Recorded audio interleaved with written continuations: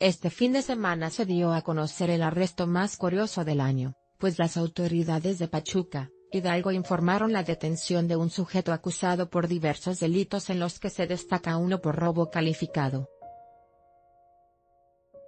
De acuerdo con criterio, el sujeto acusado de haber participado en el robo de una camioneta de la empresa de envíos de HL fue identificado por las iniciales L. O.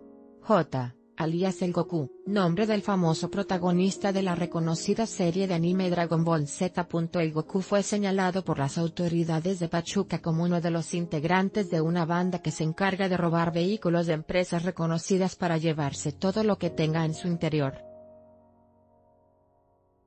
El sujeto fue detenido en el centro de Pachuca mientras se escondía de las autoridades haciéndose pasar como un vendedor.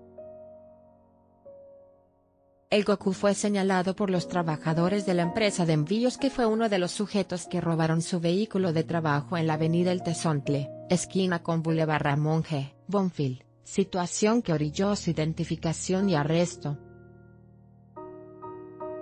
De acuerdo con el comunicado realizado por el Área de Comunicación Social de Pachuca, elementos de la Policía Municipal de Pachuca llevaron a El Goku a la agencia del Ministerio Público para rendir su declaración. En caso de comprobarse su culpabilidad por los delitos de robo, robo calificado y robo a mano armada, El Goku podría pasar entre 5 y 10 años en prisión.